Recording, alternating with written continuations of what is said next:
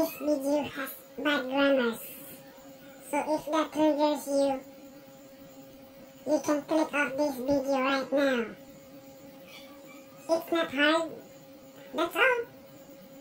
I hope you enjoy the video. Don't forget to like and subscribe for more.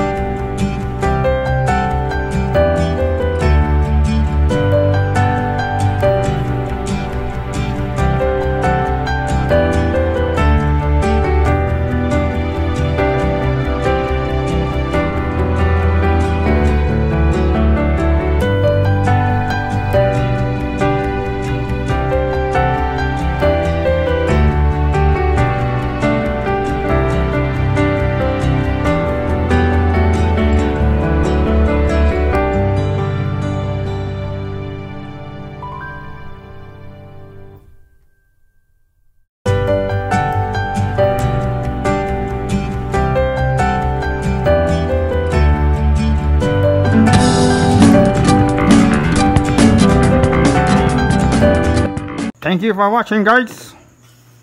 May I have the attention of all of you for these kind people who are always watching in our YouTube channel. Uh, give them a random shout out for these people. Thank you, thank you.